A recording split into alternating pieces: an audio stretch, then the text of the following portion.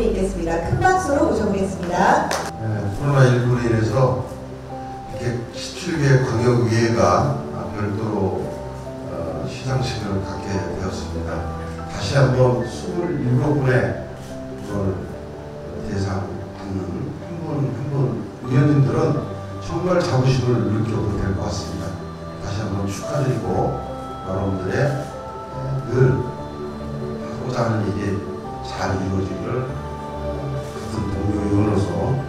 늘 부탁할 수 있도록 노력하겠습니다. 이 전반기에 함께했던 여러분 모두에게 정말 감사하다는 말씀드리고 다시 한번 오늘의 수상자 여러분들에게 진심으로 축하의 응원의 박수를 드리겠습니다. 아, 남은 2년도 여기 계시는 위원님들께서 그리고 140분의 위원님들께서 어, 1370만 도민들의 희망찬 미래를 위해서 더 큰 역할을 해주실 거라고 생각합니다.